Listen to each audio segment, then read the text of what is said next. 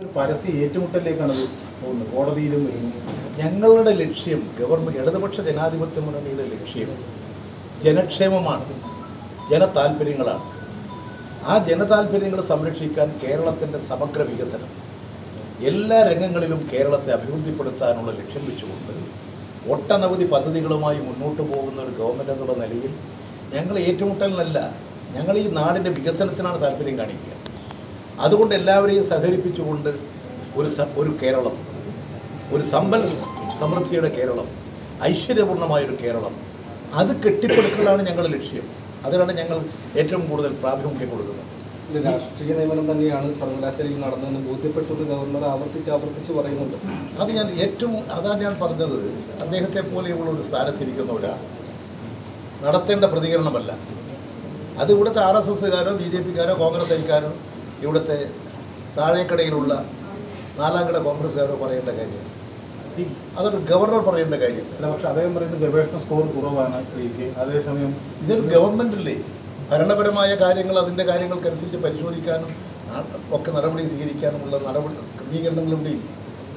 അതല്ലേ സ്വീകരിക്കേണ്ടത്? അതിന് പകരം പരസ്യമായി പ്രസ്താവന നടത്തുന്നതിന് എന്താ അടിസ്ഥാനം? ഏതായാലും ഇത് കോടതിയിലേക്ക് വരുമ്പോൾ സർക്കാരിനെ എങ്ങനെയാണ് അതിനെ കാണുന്നത്? ഗവർണർ കോടതിയിൽ വരട്ടെ. കോടതിയിൽ വരേണ്ടതെല്ലാം കോടതിയിൽ വരട്ടെ. അതിൽ ഗവൺമെന്റിന് ഒന്നും പ്രത്യേകിച്ച് മറച്ചു വെക്കാനില്ല. ഗവൺമെന്റ് ഉള്ള കാര്യങ്ങൾ കോടതിയുടെ മുമ്പാകെയും ജനങ്ങളുടെ മുമ്പാകെയും കാര്യങ്ങൾ വ്യക്തമാക്കിയിട്ടുണ്ട്. ഈ വെടിഞ്ഞം തുറമുഖവുമായി ബന്ധപ്പെട്ട് വലിയ പ്രക്ഷോഭം നടക്കുകയാണ്. എന്താണ് അതിന് സർക്കാർ കുറെ കൂടെ അവർ ആ,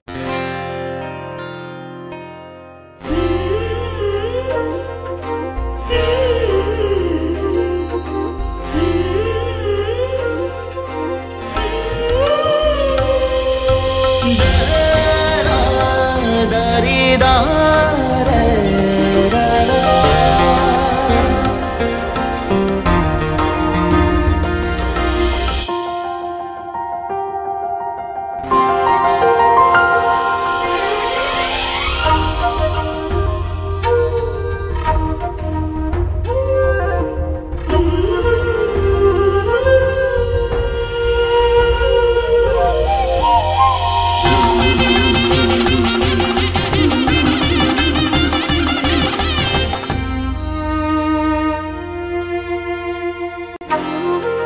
സ്വർണം സ്നേഹമാണ് M S golden diamonds main road ഇരട്ടി